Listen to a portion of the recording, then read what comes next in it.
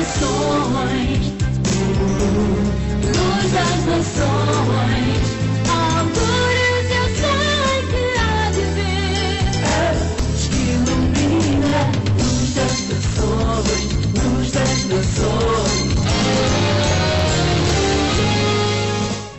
Boa tarde, cá estamos para mais um programa da Aliança Evangélica Portuguesa. Hoje viemos acompanhar o 16º Congresso Anual da Remar, uma instituição evangélica que rema a favor das pessoas que têm problemas com álcool, toxicodependências ou qualquer outra dificuldade que as leve a procurar um sentido para as suas vidas. No caso deste congresso, o tema escolhido foi Frutos de Lábios. Fique connosco, conheça melhor esta instituição e que frutos são estes que podem levar os seus lábios também a dar graças a Deus.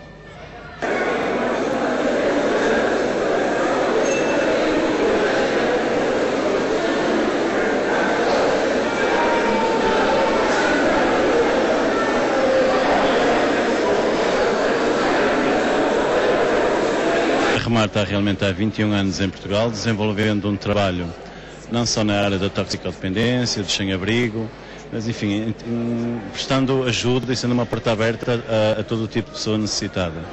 Acolhemos não só, como eu disse, toxicodependentes, sem-abrigos, prestamos eh, apoio também a várias famílias carenciadas e durante algum tempo também tivemos vários jovens connosco, jovens de famílias de risco, que muitas das vezes eram encaminhados por, por Comissão de Proteção de Menores, Instituto de Reinserção Social e que estavam durante algum tempo aos cuidados da Remar. Hoje tem sido, são menos essas crianças que estão connosco. A, a realidade também vai sendo outra e cada vez vai sendo pessoas mais sem abrigo que vêm, recorrem ah, aos centros da Remar. Com que objetivo é que vocês têm realizado eh, conferências como estas? Eh, Basicamente o objetivo é dar a conhecer o trabalho que a Remar faz eh, aqui em Portugal e ao mesmo tempo eh, tratar de trazer uma mensagem do Evangelho, uma mensagem de esperança, de vida, não só às pessoas que fazem parte desta associação, senão à sociedade em geral. Quantos centros da Remar é que existem em Portugal e espalhados por que regiões? Nós estamos espalhados de norte a sul do país, estamos em 23 cidades. Eh, temos quintas de primeira fase em pontos estratégicos do país e depois já casas de segunda e terceira fase, casas de reinserção.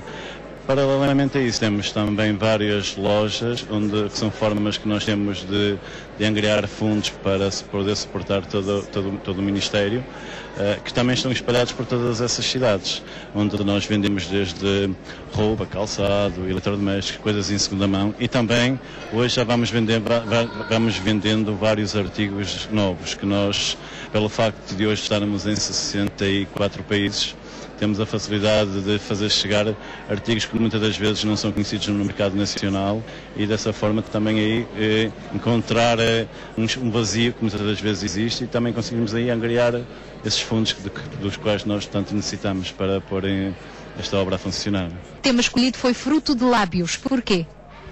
É, fruto de lábios, é, porque basicamente hoje em dia na sociedade, cada vez mais, através dos meios da comunicação social, é, a palavra continua a ser é, o único elo de comunicação. Frutos de lábios, porquê? Porque entendemos que fomos gerados pela palavra de Deus, ou seja, foi pela, através da palavra que, que a terra foi criada, que o homem foi criado, e porque eh, também é através eh, daquilo que podemos emanar pelos nossos lábios, pela nossa boca, que podemos louvar a Deus, adorar-lhe, orar-lhe, pregar a palavra, um fruto de lábios, eh, eh, trazer uma palavra profética à nação, eh, basicamente comunicar a obra que Deus tem feito em cada pessoa nesta associação e também na Igreja Cristã Corpo de Messias. Fruto de lábios e do testemunho da Remar, foi há cerca de 15 anos que a Carla conseguiu encontrar o caminho para sair da toxicodependência e hoje é uma das colaboradoras desta instituição, inclusivamente faz parte do grupo de louvor. Ah, Carla, o que é que, que circunstâncias é que a trouxeram até esta instituição?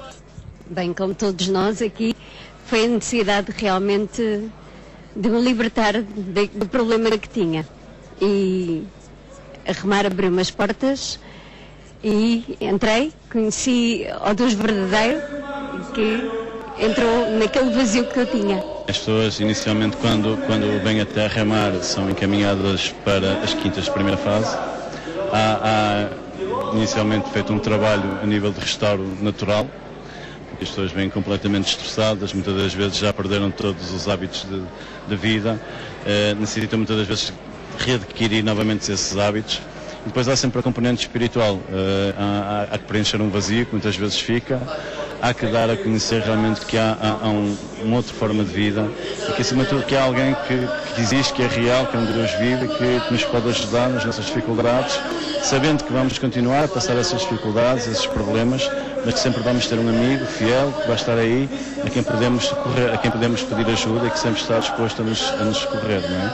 é as pessoas muitas das vezes depois de passarem pela remar, felizmente muitos conseguem se reintegrar e continuam muitas das vezes a estar em comunhão connosco, vêm até aos cultos, estão connosco, porque sentem essa falta e, e, e tem sido realmente eh, um renovo para, para, as vidas deles, poderem realmente continuar a, a, encontrar connosco, a reunirmos nos dias de, de, culto e tem sido, no fundo, um apoio muito grande que essas pessoas têm tido. Não é?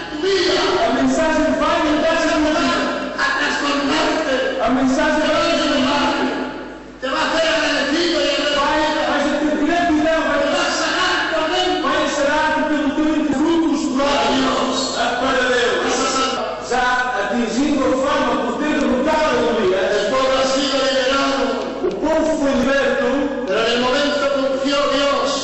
na cruz do Calvário que Jesus levou todos os nossos pecados sobre si. Por isso, com ousadia podemos anunciar, como o apóstolo Paulo, que não nos envergonhamos do Evangelho, pois ele tem poder para salvar e libertar também a sua vida. Este foi o desafio que serviu também como pano de fundo para este 16º Congresso da Remar, esta instituição evangélica que continua a remar com Cristo ao leme a favor da vida. Se quiser conhecer mais sobre esta e outras missões, não hesite em contactar-nos através dos telefones e endereços que estão em rodapé. Logo à noite. Voltamos, entretanto, a estar consigo também na rádio, desta vez na Antena 1, para mais um Luz das Nações, às 22h45. Então, até lá, se Deus quiser.